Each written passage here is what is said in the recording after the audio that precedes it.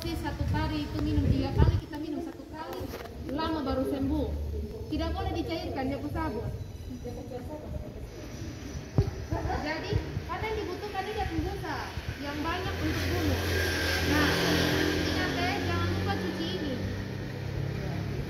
Supaya orang berikutnya kalau sudah ada orang yang jaga orang berikutnya supaya itu dalam keadaan bersih.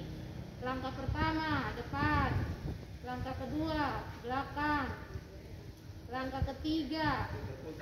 Ini langkah keempat lima enam. Lalu cepur nah